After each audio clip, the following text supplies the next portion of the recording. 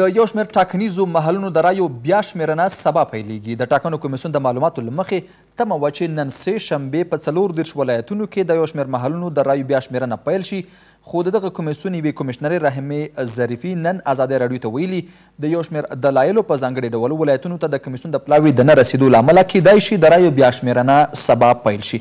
د ټاکنیزو شکایتونو کمېسیون له دې وړاندې اعلان کړی و چې د نږدې یو زرو اته سوه څلور څلوېښت محلونو رایې باید له سره وشمېرل شي. په همدې حال کې د کمېسیون کمېشنره رحیمه ظریفي وايي، د یو زرو اته سوه محلونو د رایو بیاشمېرنې بهیر به نږدې درې ورځې وخت ونیسي.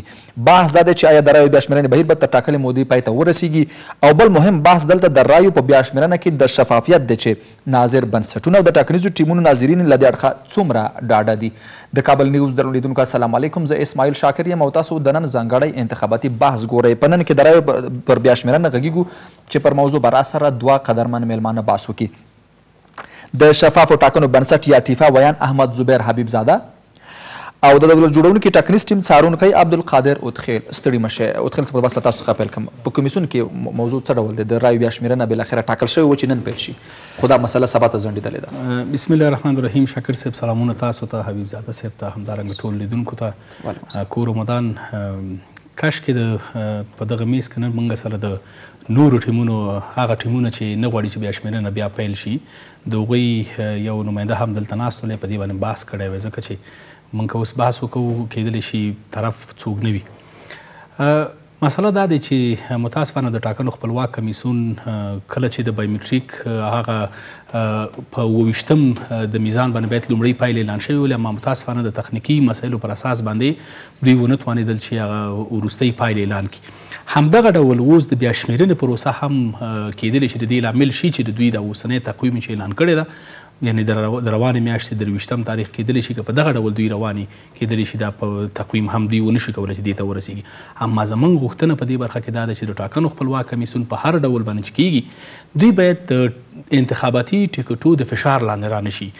ځکه دوی دلته یو داخلي طرزالعمل لري او د داخلري طرزالعمل پر اساس باندې دوی باید خپل وظایف په پرمخ باندې بوځي. اما متاسفانه موږ چې ګورو د ټاکنو خپلواک کمیسیون ځینو ټکټونو ته په په په کمیسیون کې د ځینو ټکټونو ناظرینو ته دومره وخت ورکړی چې حتی هغوی په اکثریت وخت کې هغوی د کارو خنډ ګرځي او دوی د هغوی په وړاندې باندې هیڅ اقدام نه کوي متاسفانه دلته بحث دا ده چې د ټاکنو خپلواک کمیسیون تیره ورځ یعنې دوه ورځې وړاندې باید د رای شمیرنې لړۍ باید پیل کړې ولا زمونږ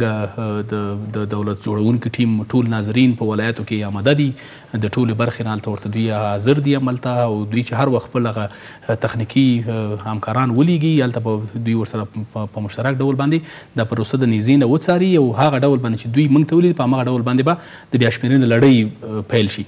اما متاسفانه اوس چې وضعیت ته ګورو دلته د ټاکنو خپلواک کمیسیون کې هم دوه ډوله بحثونه کیږي لکه اوس تاسو یادوري وکوله چې ظریفي وایي چې سبا ته به پیل شي اما اوس مولانا وایي ښاغلی مولانا وایي تر هغې چې د یو لک اووه دېرش زرو رایو او د یو لک دوه زرو رایو سرنوشت معلوم نشي تر هغې پورې نو د بیا شمېرنې لړۍ نه پیلېږي. یعنې ضد نقیص نظریات په خپله باندې په ټاکنو خپلواک کمېسیون کې د کمېشنرانو تر منځ متاسفانه دا د افغانستان خلک یو یو بل بحران ته بیایي، یو بل لړۍ ته بیایي. دا دلیل چې خپله د اغلې ظریفي له خوا وړاندې شوی دی چې کارمندان یې ناوخته ولایتونو ته ورسېدل او دا مسله باید نن پیل شوې وای، د رایو بیا شمېرنه سبا ته خبرې کوي او تاسو وایئ چې د دغه کمېسیون یو بل کمېشنر بیا وایي چې دا به تر هغې نه پیلېږي تر څو پورې چې د هغو رایو باندې چې ادعا ده په جنجال دی چې په دا سیستم کې باید داخلې وي او که نه وي تر هغې به دا بیا شمېرنه نه پیلېږي دا مداخله مشخصا څوک کوي ګوري دلته د ټاکنو خپلواک کمیسیون په خپل په خپل منځ کې ضد ناقص نظریات لري یعنې تاسو په خپل چې ظریف ښاغلی ظریفه وايي چې ظریفي وايي چې سبا ته باید د دوی خپل ټیمونه باید ولیږي ولایاتو ته او هلته بیا شمېرنه پیل کړي اما همدغه شېبه چې زه تاسو سره بحث کوم د همدغې نه نیم ساعت وړاندې د رسنیو سره ښاغلي مولانا وویلي تر هغې چې د دغه دوو ارقامو د رایو چې ما یادوري وکوله د دې سرنوشت تر څو چې معلوم نه شي موږ نه شو کولی چې بیا شمېرنه پیل کړو دا سرنوشت ښه څوک معلوم کړي هم بحث همدا ده کله چې د ډارملوک د کمپنۍ سره د ټاکنو کمېسیون سیاسي احزابو همدارنګه انتخاباتي ټکټونو تړون لاسلیک کړی د دمغه تړون درمغه پر اساس باندې چې دوی پر مخ باندې ځي د ډارملوک کمپنۍ ته کله چې رایه د د بایومټریک د وسیلو نه انتقال شوله یو میلیون نهه لکه او نهه ویشت زره درې سوه درې دېرش رایې ولې ده په خپل د ټاکنو خپلواک کمېسیون اعلان وکاوه او هغوی د ډرملو کمپنۍ دوی ته ایمیل کړی و، د مغې ایمیل پر اساس به نو دوی د رسنیو سره دا مسئله شریکه کړله اما دوه ورځې وروسته په کې نوی ارقام راوځي چې په دې کې یو لک اووه دېرش زره رایو تفاوت راوځي ګوري دا کله چې موږ د ټاکنو د کمېسیون د تخنیکي برخې سره دا مسئله شریکه کړله هغوی ویل چې دا یو تخنیکي مشکل ده هغه بایومټریک وسیلې چې د ټاکنو په ورځ باندې کله چې رایه استعمالیدله په دې ورځ باندې مخکې د غینه چې په محلاتو کې رایه استعمال شي د محلونو رئیسان یا هغه همکاران چې د کمیسیون د انتخاباتو مربوط کېدل دوی د ریزل شیټ د خالي ریزل شیټ عکس اخیستی و، دغه خالي ریزل شیټ انتقال شوی او سرور ته تللی و، یعنې هغه سرور کې دا پروسه په داسې یو ډول باندې جوړه شوې ده چې یو ریزل شیټ عکس هلته سرور ته انتقال شي هغه ځای نیسي بل ریزل شیټ هلته نه انتقالیږي نو د سپین ریزل شیټ عکس سرور ته انتقال شوی و، د هغې نه وروسته چې کله رایدهي وشوله مازیګر هر څه وتړل شول، د هغې نه وروسته دوباره دغه مواد یا دا د ریزلټ شیټ عکس چې غی کې رایم وله په غی کې ټول هر څه پوره ول دا یې سرور ته انتقال کړله هغه په سرور کې قرنطین ته لاړله تر څو چې هغه اول سپین ریزلټ شیټ چې غی کې هیڅ نشته دي تر څو چې هغه د لری نشي دوی د قرنطین نه وځي نو بناء هغه د درملو کمپنۍ تصفیه تصفیه کړله هغه سپین ریزل شیټونه لرې کړل دوی په خپل باندې د قرنطین نه وتلې په اتوماتیک ډول باندې رای داخل شولې سیستم ته نو کله چې په دغه رقم باندې سیستم ته داخل شولې دلته متاسفانه ځینې ټیکټونه هڅه کوي چې تخنیکي مشکلات هم د دې تخنیکي مسلې هم راوخلي او یو سیاسي هغه ترې نه پورته کړي ګټه ترې نه پورته کړي او په رسنیو کې دې ته یو ډول بل ډول انعکاس ورکړي چې متاسفانه چې د افغانستان د خلکو پر روانو یا د په اذانو باندې منفي تاثیر وکوي دا هغه رایه وله چې په دغه ډول باندې تخنیکي مشکلاتو سره مخامخ یو له قوه ډېر زره بالکل اوس دوی په دې بنه تاکید کوي چې دغه یو لک اووه دېرش زره رایې باید باطل اعلان شي. ګورئ دلته د ټاکنو خپلواک کمیسیون د داخلي طرزالعمل او د ټاکنو د قانون پر اساس بنه دوی مسوولیت او صلاحیت لري چې دوی د رایو پر اساس باندې باید تصمیم ونیسي یعنې یو ټاکنیز ټیم دا صلاحیت نه لري چې دوی باید تصمیم ونیسي. یوازې ټاکنیز تیم څارونکي دومره کولی شي، صلاحیت لري چې دوی مشکلات درک کړي او د مشکلاتو پر اساس باندې دوی شکایت وکړي کمیسیون ته او کمیسیون وتوانېږي چې د دوی د شکایاتو ته رسیدګي وکړي. اما دوی نه شي کولی چې دوی پروسه متوقف کړي، دوی رایې په خپله باندې یعنې اوس پروسه متوقف ده په یو ډول. بلکل اوس یې متوقف کړې ده، اما زموږ مشخص غوښتنه دا ده چې، د ټاکنو کميسيون د خپل طرز العمل پر اساس باندې باید دوی پر مخ باندې لاړ شي. بیا هم تاسو ته حبیبزاده صاحب تاسو د یو ناظر بنسټ په توګه بالاخره انتخاباتو کمېسیون کې د رایو د بیا شمېرنې خبرې کېږي تر اوسه پورې دغه رایه شمېرنه باید نن پیل شوې وای خو پیل نه شوه تاسو د اتخیل صاحب خبرې هم واورېدې چې دغه پروسه یو ډول متوقف شوې ده ستاسو ارزونه له دې پروسې څخه څه ده؟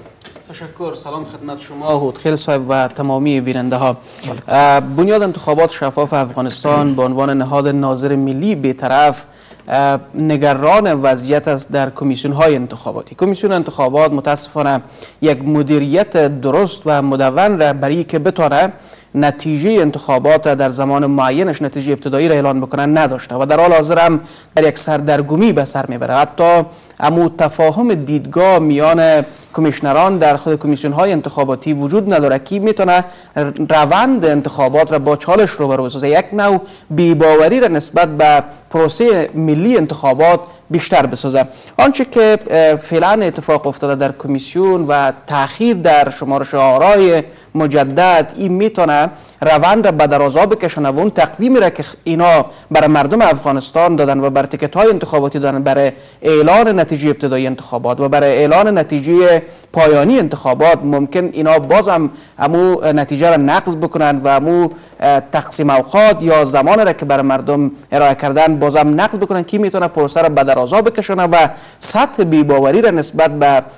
پروسه انتخابات بیشتر بسازه هم برای تکت های انتخاباتی و هم بر مردم افغانستان یو جالب ټکی چې مخکې دلته ذکر شه یو د خپل د اغلی ظریفی څرګندونې دي چې رسنیو سره کړې دي چې سبا ته د سه شنبه پر د چهار شنبه پر ورځ به دغه د رای بیا شمیرنه پیل شي چې ارقام هم ورکړي دي یو زور اته سو محلونو کې به د رای بیا وشمیرل شي په ولایتونو کې خو بل خوا د ښاغلي اوتخېل په وینا باندې چې د مولانا عبدالله چې د ټاکنو کمیسیون یو بل کمیشنر دی هغه بیا وایي چې نه دا پروسه به تر هغې پورې ځنډېدلې وي د رایو بیا شمېرنه تر څو پورې چې هغه د یو لک اووه دېرش زرو رایو سرنوشت یا هغه رایې چې ټیمونه یې په اړه مشکوک دي دا دي سرنوشت نه وي معلوم شوی دغه مسله فکر نه کوي چې ډېره جالبه ده کمیسیونونه د دې رایو سرنوشت باید معلوم کړي نه دا چې کمیسیونونه خپله د دې لاره ورکه وي چې د دې سرنوشت باید څوک وټاکي ما پیشتر اشاره کردم که یک نوع تفاهم دیدگاه میان کمیشنران کمیسیون انتخابات متاسفانه وجود نداره و خواست تیفا از, از کمیسیون های انتخاباتی است که اینا به یک رهبری واحد برسند تا تصامیمشان قابل قبول بر تکت های انتخاباتی و بر مردم افغانستان باشه هر قدر اینا پراگنده عمل بکنن و هر قدر اینا پروسه را به یک نوع دیگه تعریف بکنن بر مردم سطح باورمندی مردم نسبت به پروسه بیشتر پایین میه و مردم نسبت به پروسه انتخابات بیشتر بی‌باور میشن خواست ما از کمیسیون های انتخاباتی است که اینا کار بکنن و کار را بکنن که امو شفافیت انتخابات تضمین شود و این یکی از بحث های جدی انتخابات است که قابل قبول شو و نتیجه انتخابات بر تکت های انتخاباتی خدای نخواسته تو یک وضعیت پیش نیاید که اینا نتیجه را اعلان بکنند و وضعیت طور شود که تکت های انتخاباتی نتیجه را نپذیرند او سرنوشت یکی با سوال سوال دلته ده حبیب زاده صاحب سرنوشت ارو د چا مسئولیت ده چه بدون شک کمیسیون های انتخاباتی بر مردم باید حساب بتن و هر رای که حساب میشه و هر رای که باطل میشه و هر رای که قرنطین میشه از مسئولیت های کمیسیون های انتخاباتی است طبق همون قوانین و لواحی که وجود دارد تا به مردم وضاحت داده شود که سرنوشت آرا بر کدام دلایل آرا باطل میشه با کلام سرنوشت اینا بر مردم باید حساب بتن که آرا معتبر بوده و شمارش شده و چیزایی که شماری آرا مطرح است کمیسیون شکایت مستقل شکایت انتخاباتی مسئولیت دارد جدا از این موارد نظارت بکنه و با کمیسیون مستقل انتخابات مشترکان کار بکنن در تفاهم با ناظرین بیطرف و ملی و بین المللی تا به یک نتیجه مطلوب در انتخابات برسیم. ښه اوس دغه شکایت او کمیسیون هم ویلي دي دا پخوا ده یو زر اته سوه څلور څلوېښت محلونو رای باید له سره وشمیرل شي باشماري شي انتخاباتو کمیسیون هم یو کمیشنر همدغه شمیر یو زر اته سوه ښیي خو ددې نه پیلیدل چې یو کمشنر دې وایي پیلېږي او بل کمشنر دې ووایي چې نه پیلېږي او د کوم انتخاباتي ټکټونو په دې برخه کې چې کومه د مداخلې موضوع مخکې وتخیل صاحب مطرح کړه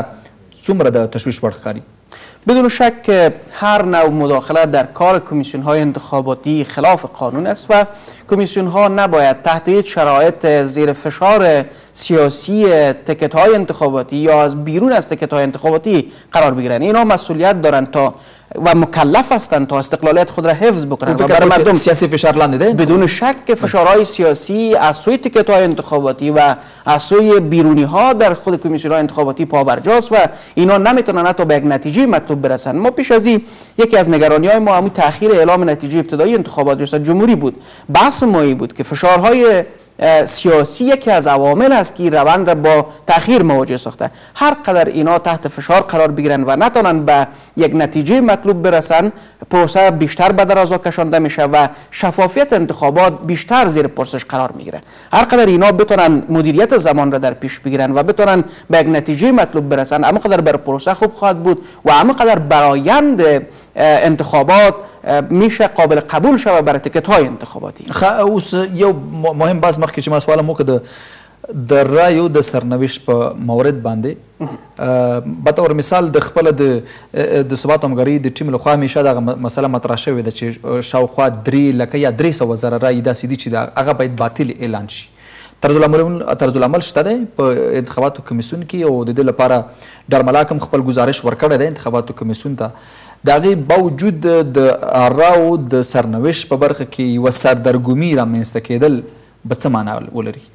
بهتر است که شما آنچه را که جناب اوتخیل هم برش اشاره کرد که وقتی از تکت نام میبرین از همو تکت نمایندهش باشه و بتانه همو حرفهای قناعت بخش را بر شما ارائه بکنه اما چیزهایی را که ما به عنوان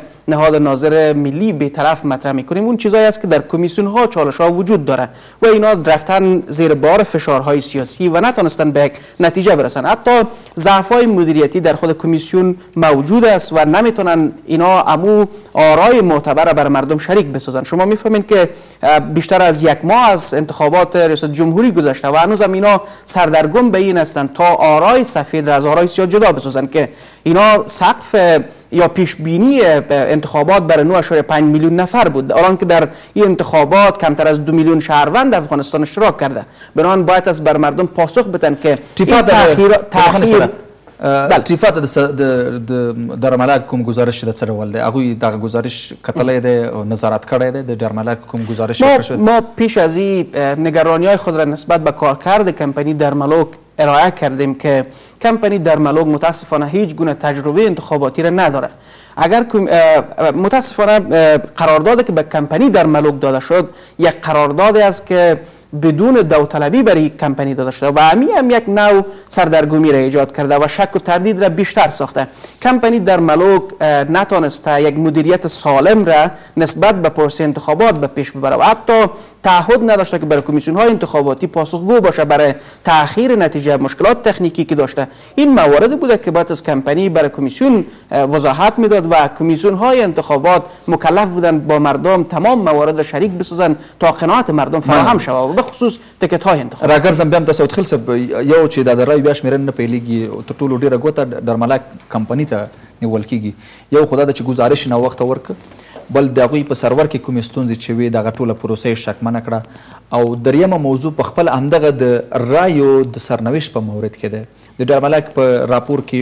شپږ اتیا زره داسې رایې دي چې هغوی معیار نه دی پوره کړی ولې د انتخاباتي ټکټونو له اړخه بیا دغه شمېر ډېر بلل کېږي حتی تر درې لکو پورې رایې بلل کېږي چې دا باید باطل اعلان شي. فکر نه کوي چې دلته یوه یو مشکل تخنیکي په خپله د هغې کمپنۍ له خوا ده چې خپله حکومت ورسره قرارداد کړی. ګورئ د درملو د کمپنۍ سره جناب شاکر صاحب یوازې د ټاکنو خپلواک کمیسیون ورسره قرارداد نه دی امضا کړی په دې کې سیاسي احزاب ونډه لري په دې کې همدغه انتخاباتي ټکټونه چې اوس د درملو د کمپنۍ متاسفانه چې په تصفیې نه وروسته چې کومه رایه راغلې ده په هغې باندې هم دوی نیوکه کوي د دې ټولو په مخه کې او د دوی په وړاندې باندې دا هر څه ورسره دا قرارداد ورسره لاسلیک شوی دی ګوري دلته د د رایو د باطلېدو دپاره د ټاکنو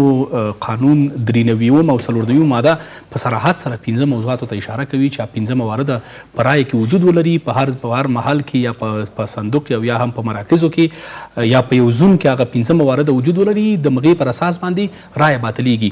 زه فکر کوم دغه پنځه موارد چې دوی یادوي په دغه درې لکو رایو کې او یا په یو لکو اووه دېرش زره رایو کې او یا په یو لکو دوه زره رایو کې چې دوی پرې باندې ټینګار کوي هیڅ داسې موارد په دې کې وجود نه لري چې دوی دې دا باطل کړي. ګورئ دلته بحث د کوم ځای نه راپیلی دغه هره مسله چې په ټاکنو خپلواک کمیسیون کې رامنځته شوې ده که د سیل مسله وله که د ډرملوک په کمپنۍ باندې انتقاد وو که په کمیسیون باندې انتقاد وو او که هر نور بحثونه په انتخاباتو کمیسیون کې رامنځته شول دا د یو توطیې په نتیجه کې رامنځته شول هلته متاسفانه ځینې ټکټونه هڅه کوي چې یو توطیه رامنځته کړي یو مشکلات رامنځته کړي دغه دا ملي پروسه واخلي د بحران سره مخامخ یو سوال دشته په بخښنه سره ډرملا چې کوم گزارش نه وخت ورکه پدې کې به توتیا لکم زی شي یو موضوع مثلا د ډرمنک په هغه سرور کې چې کومه ستونزه وه په هغه ویلو کې چې کله دا پروسس ډیر په سست ډول کېده هغه د وویشتم د میزان مخکې چې ویل کېدل ابتدایي نتایج به اعلان کړي هلته به توطیه له کوم ځای چی ددی سرور هم په افغانستان کی البته د ډیرو کورنه چی نشته ده. ګوری دا تخنیکی تخنیکی مشکلات ګوری دا دا یو دا پروسه تخنیکی وله او په دی کی هیڅ شک نشته ده چی کله پروسه تخنیکی وی هغی کی به تخنیکی مشکلات رامنځته کیږی اوس موږ او تاسو بحث کوو کیدلی شی زموږ او تاسو یو کامره چارج ختم کی موږ مجبور یو چې دا خپل کار ته د خپل بحث د سره دوام ورکو دا دغه یو پروسه دی آلته د ډارملوک زه د ډارملوک د کمپنۍ په نمایندګۍ باندې بحث نه کوم اما هلته چې ما څه په خپل باندې لیدلې دي زه غواړم په هغه اړه باندې بحث وکړم یعنی سوال دا چې آلته د ډارملوک کړنو دغه پروسه تر دې حد راونه رسوله چې اوس هغه د رای بیا شمیرنه هم یوی وایي چې پیلېږي بل وایي نه پیلېږي شاکر صاحب د ډارملوک کمپنۍ هغه کمپنۍ نه ده چې یوازې د افغانستان انتخابات تر سره کوي هغه په هند کې انتخابات تر سره کوي اته سوه میلیونه کسان په هغې کې ګډون کوي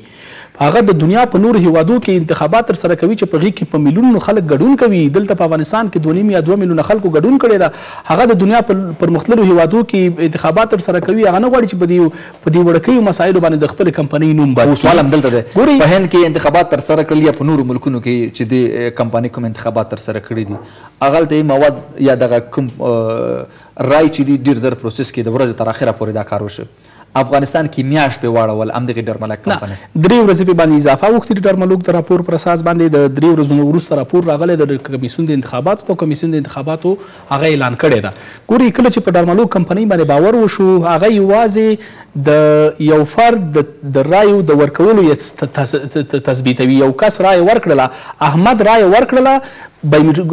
فنګر یې لګولی ده، عکس یې اخیستل شوی ده او بالاخره د تذکرې عکس یې اخیستل شوی ده، اما دا نه معلوموي چې احمد چا ته رایه ورکړې ده، کوم کاندید ته یې رایه ورکړې ده. دا بېرته د ټاکنو خپلواک کمېسیون پورې تړاو لري چې هغوی رایه تصفیه کړه، د تصفیې نه وروسته ورته راولېږله چې شپږ اتیا زره رایه تکراري ده، یو میلیون اته سوه او دري څلوېښت زره او یو سل اووه رایې پاکې، ثابتې، رایې دي او دا نورې تکراري استعمال شوې دي. زموږ غوښتنه دا دي چې دغه دغه استعمال شوې شپږ اتیا زره چې دوی وایي تکراري رایه ده، شپږ اتیا زره رایه ده، موږ د ټاکنو د خپلواک کمیسیون نه مشخص د دې په اړه باندې هم غوښتنه لرو چې دوی باید په دغې باندې دوباره د سره غور وکوي، دا باید تصفیه کړي ځکه په دې کې هم کیدلی شي داسې داسې رایې په دې کې شته دي چې یو نفر دی راغلی ده، نیم عکس راغلی ده د مخ نیمه عکس راغلی دی په دې کې خو د رای ورکونکو بالکل په دې کې ګوري په دې کې د رای ورکونکي ګناه نشته ده ځکه رای ورکونکي راغلی ده ستا هغه ټول طرز العمل په ځان باندې منلی ده عکس دې ورته واخیسته فنګر دې فنګر دې ولګاوه د تذکري عکس دې ورته واخیسته نو بنا ان دا ټول مراحل چې طی کړل هغه رای ورکړله نو اوس موږ په زموږ د انتخاباتو کمېسیون نه غوښتنه همدا دی چې دوی باید د هغو اشخاصو رایې باید باطل اعلان نه کړي، هغه باید دوی دوباره پروسس کړي، دوباره باید هغه تصفیه کاري وشي، د دې نه مو هغه رایې راووځي. یو دوه نظره دي چې هم د شپږ اتیا زره رایو په برخه کې هم باید یوه تصفیه کاري وشي، بلکل ځینې رایې بېرته باید اعتبار ورکړل شي، له هغې خوا هغه یو اعشاریه اته میلیونه یا څومره رایې چې دي په هغې کې نور انتخاباتي ټکټونه بیا وایي چې نه په هغې کې هم درې لکه پورې یا څه پنځه لکه پورې رایې داسې دي چې هغو هم خپل معیار نه دی پوره کړی. دا پروسه به نوره هم اوږدوي او د خلکو سره به نور هم په دې برخه کې تشویشونه پیدا کېږي. نه، دا ګوره دا د اوږدېدو ځای نور دې کې نه دی پاتې شاکر صاحب، ځکه دلته د ټاکنو کمېسیون مسوولیت لري چې باید په دې اړوه باندې دوی باید په خپله باندې تصمیم ونیسي، پرېکړه باید دوی وکوي. ګورئ دلته ما تاسو ته یادورې وکړلې، یو فرد راځي رایه ورکوي، اما دا چې په تخنیکي مسئله کې چې هغه د ټاکنو کمېسیون کارکوونکی نه توانېږي د هغه پوره عکس واخلي، ګناه خو د هغه نه ده که نه؟ ګوره! دلته بحث دا ده زمونږ یو بل غوښتنه هم ګوره دلته شته دی ښه اووه سوه د بایومټریک وسیلې او همدارنګه اس ډي کارتونه ورک شوي دي او په دې کې تقریبا ټول ټال د دغو اووه سوه بایومټریک وسیلو سره دوه زره د بایومټریک وسیلې هغه وسیلې دي چې د دوی رایه سرور ته ترانسفر شوې نه ده موږ د ټاکنو خپلواک کمیسیون نه غوښتنه دا هم لرو چې دوی باید د دغې رایې په اړه باندې باید دوی د دې سرنوشت هم باید معلوم کړي ځکه ما هلته بایومټریک الې تلي دي هلته دا نه دي استعمال شوي دوه زره داسې دوی د تخنیکي بالکل خپله د انتخاباتو کمیسیون رئیس یې وویل چې په دې باندې کار پیلېږي او دوه هفتې مخکې بالکل زموږ غوښتنه هم دا ده چې باید سقف د رایې نور هم لوړ باید لاړ شي د یو میلیون او اته سوه او درې څلوېښت زرو دا سقف باید لوړ لاړ شي تر څو د خلکو رایه د پښو لاندې جنبندي کې بیا هم تاسو ته راګرځم عبدالزاده صاحب یو مشکل د رایو په بیا شمېرنه کې د شفافیت تضمین دی که څه هم تر اوسه پورې دغه موضوع چې موږ تاسو ته بحث وکړ لا څرګنده نه ده چې سبا ته به د رأی بیا شمېرنه پیل شي او که به نه پیلېږي، خو که چېرې پیلېږي ناظرین یا دا نور ازاد ناظرین څومره اماده دي چې د رأیو له بیا شمېرنې څخه نظارت وکړي؟ این مکلفیت های شان است که باید څه آماده باشند و.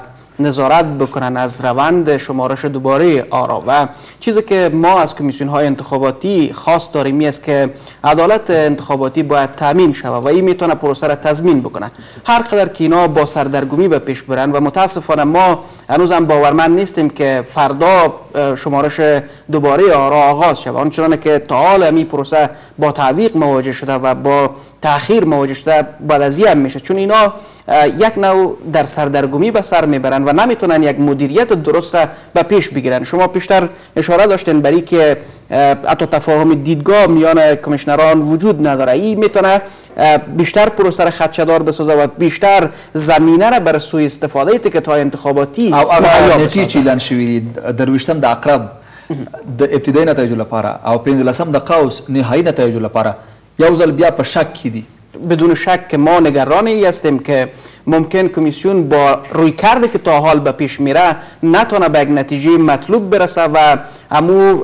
تقویم را که نقض کرده بود و تقویم دوباره بر مردم داده باز هم او تقویم خواهد نقض کرد با کارکرد که تا حال را در کمیسیون ها جریان داده یو اندیښنه دا هم وه چې ممکن انتخابات دویم دور ته لاړ شي چې پرون موږ دلته په دې موضوع باندې بحث وکړ کله چې دغه تقویم په همدې ډول نقضیږي بیا دویم دور ته د انتخاباتو تګ به بیا یو یو ډول بحران رامنځته کېدو لپاره زمینه سازی نه کمیسیون انتخابات هیچ گونه آمادگی برای برگزاری انتخابات را حتی تا شش ماه آینده نخواهد داشت تا انتخابات دور دوم برگزار بکنه و روند داره کم کم با چالش روبرو میشه و میتونه یک وضعیت را به پیش بیاره که ما خدای نخواسته با انتخابات دوه هزار و چهارده برنگردیم. ډیره مننه بحث جمبندی کوو حل لارې باندې یوه جمله وخت لرو خیل صاحب څه کول فقط پکار دي؟ پکار دا دی چې د ټاکنو خپلواک کمیسیون داخلي طرزالعمل او ټولو قوانینو ته احترام وکوو مونږ ټول ټکټونه او هغوی ته اجازه ورکړو چې هغوی خپل طرزالعمل ټول تطبیق کړي هغه رایه چې د افغانستان خلکو په سختو شرایطو کې کارولې ده هغوی په سختو شرایطو کې راوتلي دي په ناامنه شرایطو کې متاسفانه راوتلي دي، را یې کارولي دی، خپل ژوند یې د د خطر سره مخامخ کړی دی، موږ باید اجازه ورکړو چې د ټولو خلکو د رایو پر اساس باندې دلته یو تصمیم ونیول شي، د ټاکنو د خپلواک کمیسیون د داخلي طرزالعمل پر اساس باندې او هغه اشخاص چې هغوی د شخصي اغراضو د غوښتلو په خاطر باندې د خلکو رایې د پښو لاندې کوي، د هغوی مخنیوی باید وشي، کیو ار کوډ چې ده د هرې رایې په شا باندې لګیدلی ده هغه ته باید مونږ هغه ورکړو چې هغه د ټاکنو کمیسیون د دغه کیو ار کوډ په اساس باندې هغه مهالونه چې د بایمیټریک رایه یې ترانسفر شوې نه ده سرور ته هغه بایمیټریک چې ورک شوی ده په مهال کې هغه بایمیټریک چې د زورواکي د خوا نه تښتول شوی ده د هر ډول مشکلاتو سره چې مخامخ شوی ده د هغو رایو د سرنوشت په خاطر باندې د ټاکنو خپلواک کمیسیون مکلفیت لري چې دوی باید یو داخلي طرزالعمل پر اساس باندې د هغو رایو د شمېرنې په اړه هم اقدام وکړي. تاسو د حل لارې په توګه راته ووایئ. ما خواست ما و رای حل ما ای است که بدون شک که قوانین در کمیسیون های انتخاباتی رعایت شود و تکت های انتخاباتی هم قاعده بازی را مراعات بکنند و کمیسیون ها را بگذارند کارهای خود را به پیش ببرند و کمیسیون ها مکلف هستند که تحت هیچ شرایط زیر فشارهای داخلی و بیرونی قرار نگیرند و نتیجی